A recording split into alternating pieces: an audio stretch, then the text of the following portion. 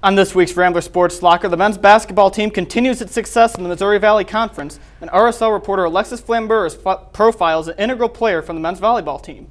Also, RSL reporter Aaron Onion looks at the demands of being a student athlete. Dylan Conover in his Ramble analysis talks Super Bowl, and RSL reporter Patricia Martinez takes a look at what's trending. Patricia? With the Super Bowl quickly approaching, I took a look at what hashtags both players and social media users are using to hype up the big game. This and more on the Rambler Sports Locker.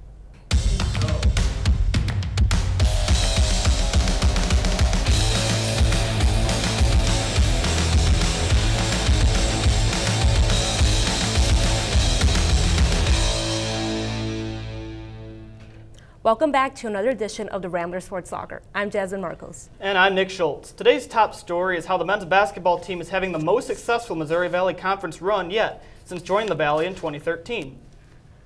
After being predicted to finish seventh in the MVC this year, the Ramblers sit in a tie for third place after splitting a pair of games this weekend. The Ramblers headed to Indiana State on Saturday, and Milton Doyle's 20 points led the Ramblers to an 81 66 victory. Then they went for the season sweep against Missouri State on Tuesday, but they came up just short, falling to the Bears 82 81 in overtime, despite five players scoring in double digits. Loyola now sits at 16 and 7 overall and 6 and 5 in the Valley. Senior Milton Doyle was voted MVC Player of the Week for the second time this season after averaging 17 points per game and four rebounds. The women's basketball team hosted both Missouri State and Wichita State last week and saw defeat by hands of both teams. On January 27th, the Ramblers couldn't catch Missouri State, falling behind 26 to 8, and suffered defeat with a score of 60 to 32. Kiana Coomer recorded her second straight double-double in the loss, putting up 13 points and grabbing 10 rebounds. They didn't have much time to recover as Wichita State came to town on Sunday. The Ramblers kept pace with the Shockers early on. Here's Katie Salmon taking the feed from Tiara Wallace for the three. But Taquandra Mike was red hot for the Shockers, making all three of her three-pointers to come away with 20 points. Coomber drains this three, but the big story of the day was Brandy Seegers, who had a career-high 15 points, including this jumper from 15 feet. But Wichita State wouldn't let up, as Kayla Williams makes one of the team's eight threes on the day. Williams continued her scoring ways, but eventually Loyola fell to 83 to 64. The Ramblers fell to 2 and 18 on the season and 1 and 8 in the MVC. The track and field team continued. The track and field team continued their indoor campaign this, this time at the Black and Gold Premiere in Iowa City. RSL reporter Blake Keller has the recap. Blake? Thanks, Nick. The track and field team completed action at the Black and Gold Premiere in Iowa on January 27th and 28th. For the women, junior Casey Block ran to a first place finish in the mile run, posting a personal best of 5 minutes and 1 second. She bested her competition by 5 seconds. Block's personal best helped her secure a fourth place finish overall and is ranked ninth in the Missouri Valley Conference leaderboard. The men's team was led by sophomore Kevin White in his breakout campaign during the mile run. He also posted a personal best time of 4 minutes and 10 seconds. This places him fourth overall in the Valley. The men's 4x400 meter relay team of Jazz Hayes and Samuel Urban, Michael Edwards, and Octavian Wells claimed fifth, clocking in a time of 3 minutes 16 seconds. Kevin White, who was in the midst of a breakout campaign, was named the MVC Scholar Athlete of the Week. Holding a fourth place finish overall in the Valley, White also holds a 3.84 cumulative GPA as an environmental science major. White and the track and field team will tie up their running shoes again when they travel to South Bend for the Meyo Invitational on February 3rd and 4th. That's your track and field recap for the Rambler Sports Locker. I'm Blake Keller. Back to you, Nick. Thanks, Blake. As the men's volleyball team remains ranked 10th in the nation, one player in particular has had a key role in getting there. RSL reporter Alexis Flambers talks volleyball and more with middle blocker Jeff Jendryk. Jendryk, the spike was hit up high into the netting area, but that's still alive. Junior Jeff Jendryk is a middle blocker on Loyola's men's volleyball team. He fell in love with volleyball when he was 16 years old and he's been playing ever since. Jendryk's recognition began in 2015 during his freshman year when the men's volleyball team won the NCAA National Championship for the second year in a row. He was named Most Outstanding Player in the championship tournament. I just remember at the end of the game, um, they said my name. I had an outstanding game as well as Thomas Jaeschke as well as everyone else. And I just remember they called my name and everyone just like picked me up and was just saying MVP and like I was just like this can't be happening right now. It was, it was awesome. Even through all of this, Jendryk has remained humble, working extra hard to perfect his blocking. The finance major even devotes time to help out his younger teammates both on and off the court. This year I wanted to help the freshmen as much as I could. And I think I've been doing a good job just helping them with classes, on the court stuff, off the court stuff. So I think I'm doing a really good job with that. When he's not racking up kills, Jendryk says he enjoys playing Call of Duty with his roommates, although he hasn't had much time to play this semester. I'm a little bit of a gamer. Uh, my roommate is as well. Uh, we've been playing Call of Duty. Although Jendryk and his teammates are in the middle of their season, he has high hopes for how the season ends. I think um, one big thing is we're hungry, you know, this year. Uh, we didn't do the, well, the best last year, but uh, this year is definitely a different mentality and we're going to work hard and try to get a national championship. For the Rambler Sports Locker, I'm Alexis Flamburis. Thanks, Alexis. The team will be back at home to start MIVA play against Lindenwood on Friday and Quincy on Saturday. On top of home and away games, balancing sports while still being a student can be tough. RSL reporter Aaron Onion sat down with members of the men's volleyball team to talk about obstacles they face as a student athlete. Your average college student finds it difficult enough trying to balance school, a social life, and other responsibilities. Throw in competing at the highest level of collegiate sport, and that challenge becomes even greater. Jake Selsky, a junior libero on the Loyola men's volleyball team, says the jump from high school to college took an adjustment. Coaches really helped us out. We have to do like six study hours a week uh, up in Norville. That's required for freshmen. And they just provide us with all the resources we need to be successful. But there's definitely a learning curve. The first few months were definitely harder than I thought they were going to be. On the court, there is also a learning curve. Sophomore middle blocker Paul Narup says the transition into Division One volleyball was a step up from high school in several areas. You definitely don't expect how, how much bigger and stronger everyone is uh, compared to where you're at as a 17 and 18 year old. Everyone's just bigger, faster, and pretty much better at what they do. Juggling academic and athletic work can be difficult, but Selsky says the key to success lies in preparation. You know, we gotta sacrifice some, you know, social gatherings on the weekends in order to get our uh, uh, homework done. Just prioritizing, we know what's important to us, and that's school and volleyball, that comes first, and just go from there. With a full-time academic schedule and hours of practice and more intense competition, the Ramblers have a lot on their plates. But with a top 10 national ranking and several players on the academic all-conference list, they seem to have found the formula for success. For the Rambler Sports Locker, I'm Aaron Onion. Back to you guys at the desk. Thanks, Aaron. Last week, Loyola softball outfielder Erica Nagel was named 2017 preseason All-MVC. Honors are nothing new to the senior. Just last season, she earned first team All-MVC and National Fast Pitch Coaches and Association second team All-Midwest Region accolades.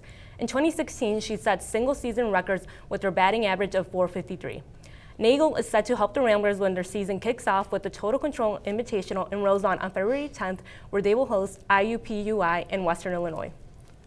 The Loyola men's soccer team will have a new face on the sideline next year as Pat Flynn will take over as an assistant coach and recruiting coordinator.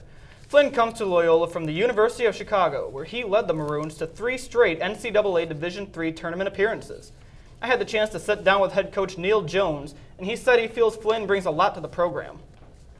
Um, you know, he wanted to become involved in Division One, and, and, once Nate left, uh, Pat was Pat was uh, high on our list in terms of guys we wanted to add in. So he's a great coach, cares about the program, cares about the players, and uh, we'll do an excellent job here.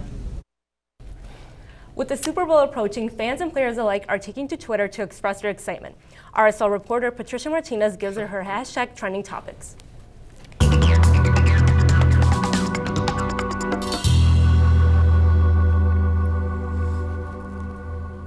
Thanks, Jasmine. The 51st Super Bowl is just around the corner. February 1st, 1st, the New England Patriots will take on the Atlanta Falcons at the NRG Stadium in Houston. Throughout this week, players from both teams have used social media to motivate themselves and their fans for the big day. The athletes from both teams have used a specific hashtag on both their Twitter and Instagram posts to hype up themselves up for the big game. Appearing in the Super Bowl eight times in franchise history, the most of any team, the New England Patriots are looking forward to bringing home yet another Lombardi trophy.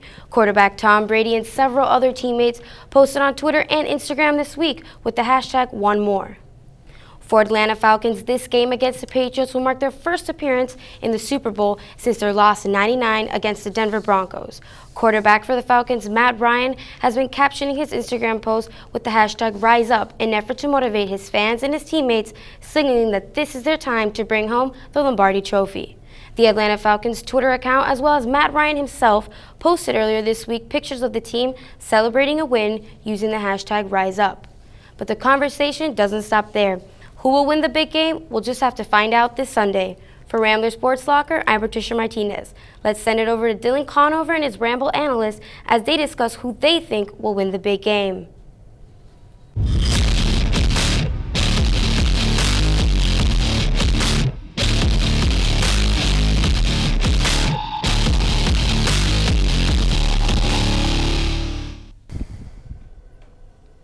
Welcome to this week's Ramble. I'm Dylan Conover, and I'm joined today by Alfredo Rodriguez and new member Tim Edmonds.